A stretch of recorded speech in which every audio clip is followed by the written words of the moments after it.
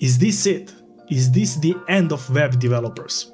Well, I've been using ChatGPT for quite some time now and I want to put it on a real test. The idea was to create a professional website with it and here are my results. As I already had some experience with it, I knew from the start that I cannot just generalize some inputs with it. That means that I cannot just ask it to build me a website because that won't work. So my plan was to ask it specific questions for each specific section and then bundle that all together. The first thing with that was to prepare a project. I asked ChatGPT about it and ChatGPT delivered. I also asked for HTML code with meta tags as well. I grabbed that code and pasted it into my file.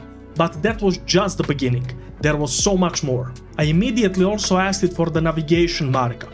I just popped the question and it delivered that markup for me. Now it was time to style that markup of that navigation, but I wanted to play around with it a bit. So first of all, I asked it to reset my CSS, something like reboot CSS would do. With that reset, I was finally ready to style the navigation. It did that part, but not so great. Instead of aligning the navigation bar with CSS properly, it didn't know how that part will work, so I had to get involved.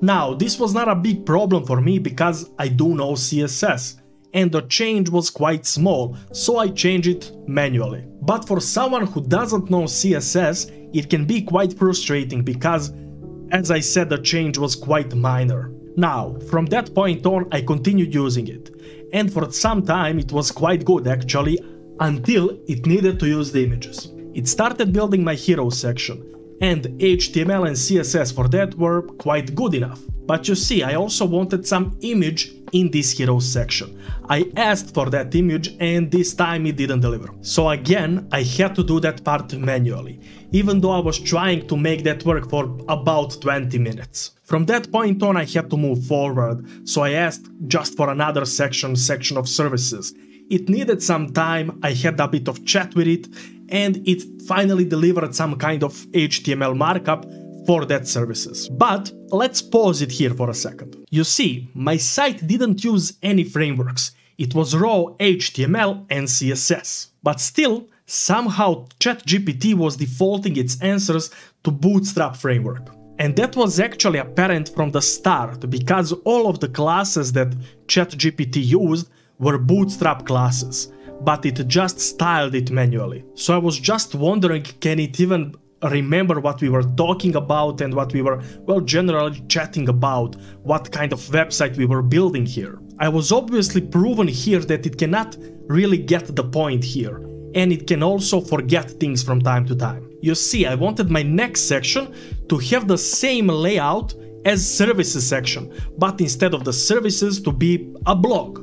Even though I asked for the specific, well, the same layout and same styling as from the services section, it just delivered this bootstrap styling, even though it's not what we used and it, it's not what we were building here. So once again it defaulted to that bootstrap framework, even though from the start I never used the word bootstrap at all. And with that I had once again go back into my code and update the code manually so it does look as a section that I wanted to build. And yes, this blog section also had images, which meant that I again needed to add those images manually. So finally once I finished this I thought that this was behind me and that I will be able to just build this contact section that I wanted. But then it crashed. It crashed because a lot of people are actually using ChatGPT right now, so it cannot handle that rate of users. For me, that meant that I will have to start a new chat with it, and with that reset the whole AI process that we had. This is exactly what I was afraid of, as I knew that it will never know how to continue the current site layout. And that is exactly what happened again. It defaulted again back to the bootstrap styling, then to some kind of default form for this contact section that we were building, and finally to this form that you can see on a screen which just looks weird. So once again I had to fix the code manually. I also had to finish the footer manually because of that crash that it had. It didn't know the styling of the website that we were using so I had to just finish the work myself. If I would need to summarize my experience with it, it is not exceptional. It does feel good working with it, as it is quite futuristic. Also, I do think that for the moment it is much better generating blog posts and just text in general.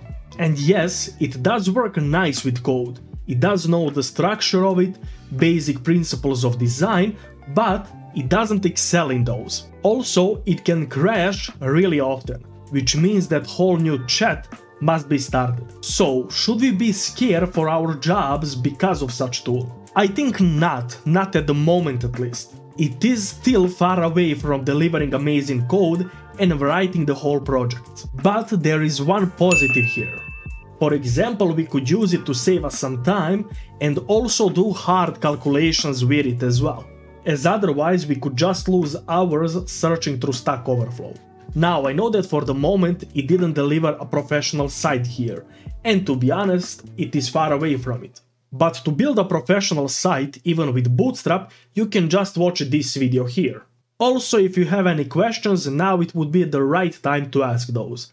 Until the next time, cheers!